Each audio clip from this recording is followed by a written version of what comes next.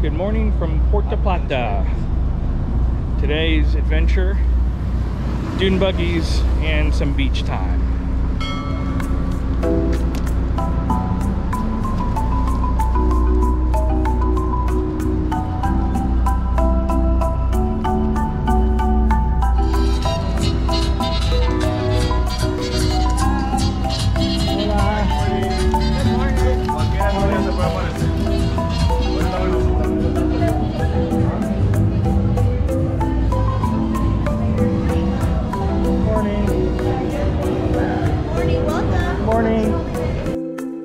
Right across from us is actually Amber Cove, which is where Carnival has their port. So just a nice little view from across the way. Lots of beautiful countryside on the drive. However, it is worth noting that over half of the trip was on dirt trails that had lots of potholes, so very, very bumpy and uncomfortable in certain locations. Just be prepared for that if you take this excursion. Welcome to Chukka Ocean Outpost at Coconut Cove.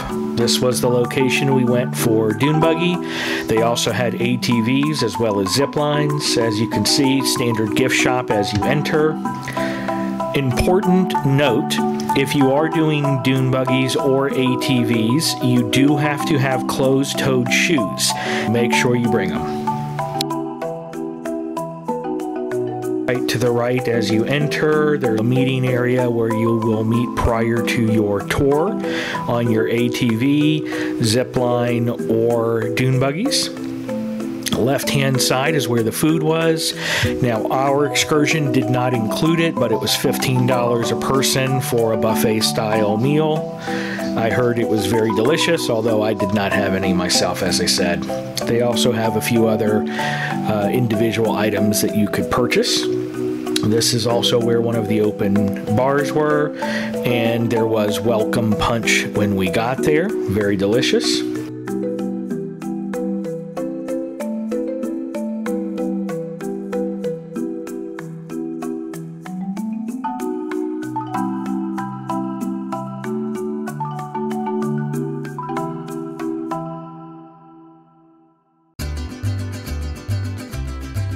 Bench style seating and there was uh, areas both inside to keep you from the elements and outside where it overlooked the beach as well as the zip lines.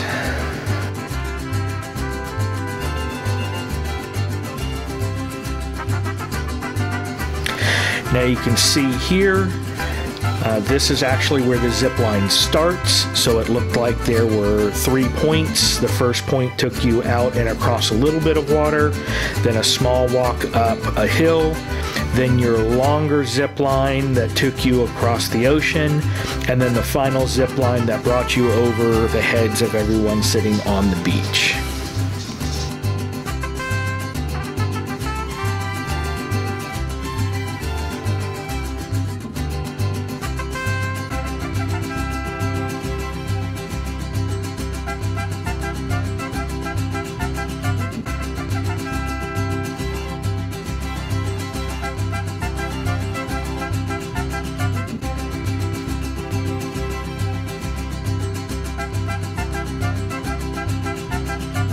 There weren't too many people there when we were there, so there was plenty of seating for you to enjoy. No additional cost for the umbrella and the chairs here.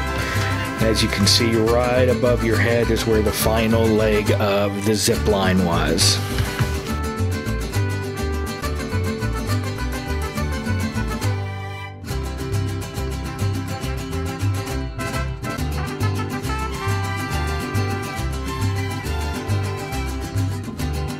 There was another kind of garden area that had wonderful shade cast by the trees. As you can see, the lounge chairs here.